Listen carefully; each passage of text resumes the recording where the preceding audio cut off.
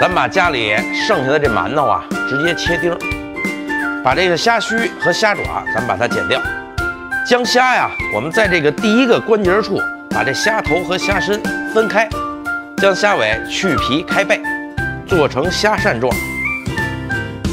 虾肉清洗干净，在里边加上盐和姜汁腌制入味。腌制好的虾呀，咱们下一步是拍粉脱蛋，蘸馒头丁儿。烹入料酒，加清水，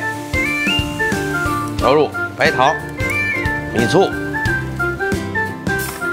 转小火烧至入味，挑去葱姜，大火将汁收浓，油温升至四成热，下入虾排，关火起锅装盘儿，